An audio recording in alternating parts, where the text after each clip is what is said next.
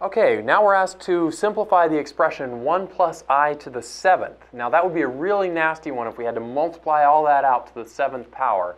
Um, so instead what we're going to do is convert to polar form, and then hopefully the exponentiation will be easier in polar form, and then after we expand it out in polar form, we'll convert it back to rectangular form.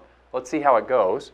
Um, remember r equals the square root of x squared plus y squared and theta equals arctan of y over x. And sometimes you have to add on an extra pi there. You do that when x is less than 0. Um, okay, so 1 plus y, 1, 1 plus i, that means my x is 1 and my y is 1. So r is equal to the square root of 1 plus 1, which is just square root of 2. Theta is arctangent of 1. Uh, that's a common value. It's pi over 4. And I don't have to introduce the fudge factor this time because uh, the x is positive. You can check that on the unit circle. 1 plus i is right there. And that does check that the radius is the square root of 2 and the angle is pi over 4. So that checks my work here. So what we have here is square root of 2 times e to the pi i, e to the pi, sorry, e to the i theta, so theta is pi over 4. So we have square root of 2 times e to the pi over 4i. That's the polar form of the complex number, 1 plus i. And we want to raise that to the seventh power. So I raise both sides to the seventh power. Now that looks pretty horrible, but square root of, this just turns into square root of 2 to the seventh times e to the, now, pi over 4i, e to the to one power raised to another power, you just multiply the exponents. So this just turns into e to the 7 pi over 4i. That's the beauty of the polar form is that the exponents just multiply or add instead of making it really difficult and multiplying lots of things together. Um, so the, the e part is already raised to the seventh power. Root 2 is to the seventh might take a little bit of work. Let me look at this. I'll write that as 2 to the 1 half to the seventh power. And then you could write that as 2 to the 7 halves. Um, 2 to the 7 halves is the same as 2 to the 3 and 1 half. 7 halves is the same as 3 to 1 half. That's the same as 2 cubed times 2 to the 1 half, law of exponents there. And 2 cubed is 8, and 2 to the 1 half is root 2 there. So root 2 to the 7th is 8 root 2.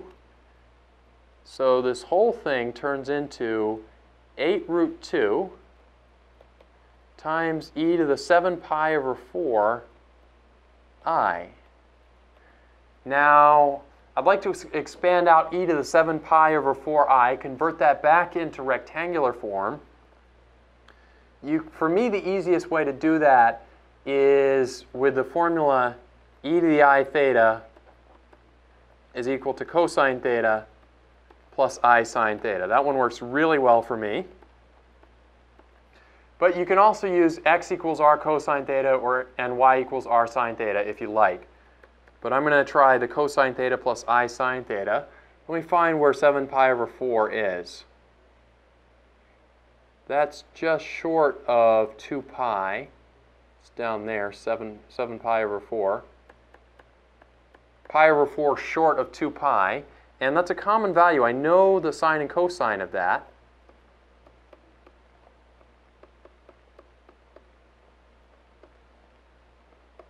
Whoops, there's no i there. Plus i sine of 7 pi over 4.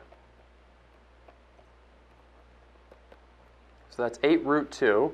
I know the sine and cosine of 7 pi over 4. They're both square root of 2 over 2. I just have to figure out which one's positive and which one's negative. And since the y coordinate's negative there, we're below the x-axis, Um, so the, the sine one is negative. So my cosine of 7 pi over 4 is positive root 2 over 2. The sine is negative root 2 over 2. And now I just have to simplify this. 8 times root 2 times root 2 over 2, uh, that's 4 times root 2 times root 2. That's 4 times 2. 4 times 2 minus i times 4 times 2. The way I'm getting 4 times 2, that's 8 over 2, and then root 2 times root 2. So this is 8 minus 8i.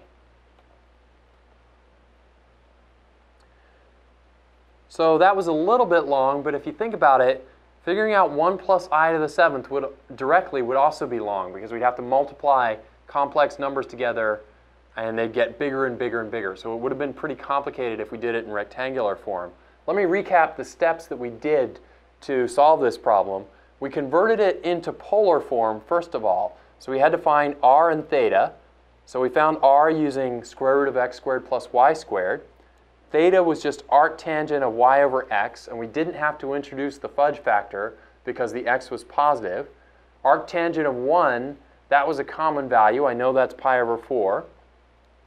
So this number converted into the polar form, root 2 times e to the pi over 4i.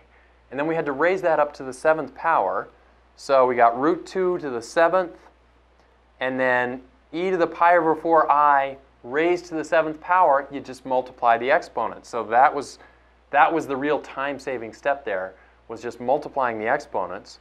Then there was a little work of figuring out what root 2 to the seventh was.